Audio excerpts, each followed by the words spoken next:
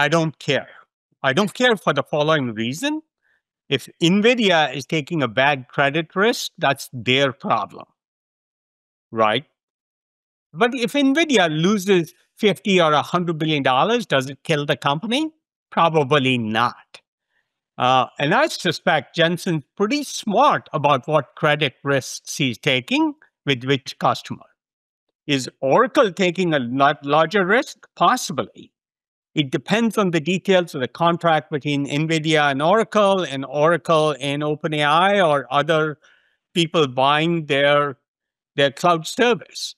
Uh, so you have to think of it as traditional business and say, Hmm. where does the risk lie?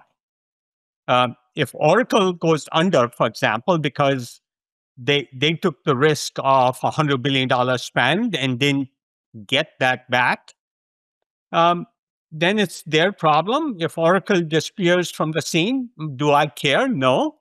Uh, I hope they don't.